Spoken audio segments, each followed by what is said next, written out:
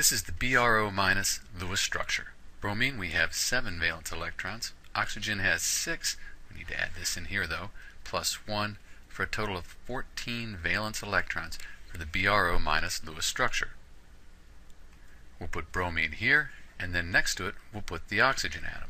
For BRO minus, we'll put two valence electrons between atoms to form a chemical bond. They'll go around the outside.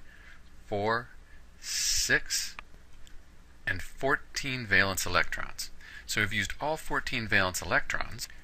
The bromine has 8 valence electrons, it has an octet, and the oxygen also has an octet. One last thing we need to do to complete the BRO minus Lewis structure is put brackets around our structure to show that it's a negative ion. So that's the structure for BRO minus. This is Dr. B. Thanks for watching.